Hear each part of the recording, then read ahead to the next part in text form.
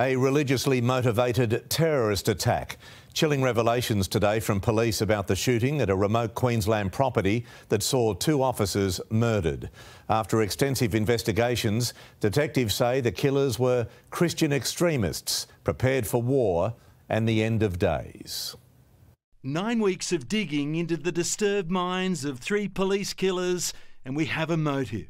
Nathaniel, Gareth, and Stacey Train acted as an autonomous cell and executed a religiously motivated terrorist attack. Text messages, social media posts, and Stacey Train's diary help paint the picture of family members subscribing to a form of Christian extremism known as premillennialism. Believing Christ will return for a thousand years, but there has to be war and suffering first.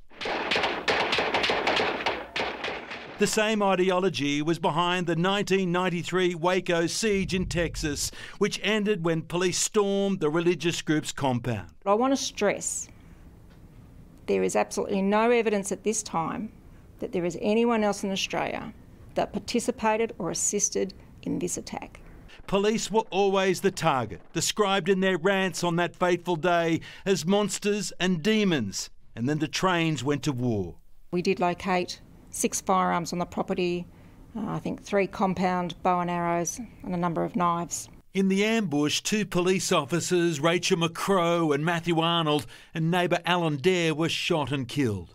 The investigation has uncovered triggers for the attack COVID, vaccination, and the distrust of authority. And December 12 was the beginning of the end. They started preparing for the end of days. There's a lot of rhetoric around the end of days. Today's briefing from police, a prelude to a coroner's inquest trying to shed light on one of our darkest days. Damien Ryan, 9 News.